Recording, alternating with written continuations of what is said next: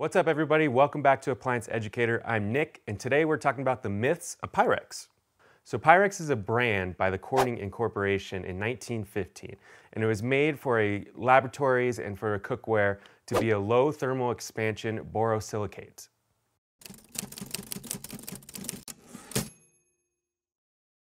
And one big reason people are wary of Pyrex is because it's had a tendency to shatter. Now the reason Pyrex can shatter is due to extreme temperature change from hot to cold. If this temperature change is too extreme, it will lead to a structure fail in the glass itself. Now this can happen, but today I'm going to teach you some tips on preventing that from happening.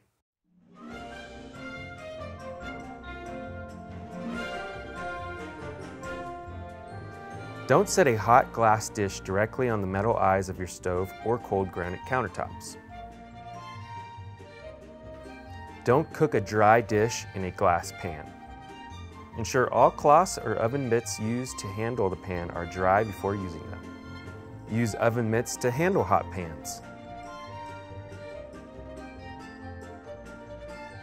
Do not use glass cookware on open flame sources.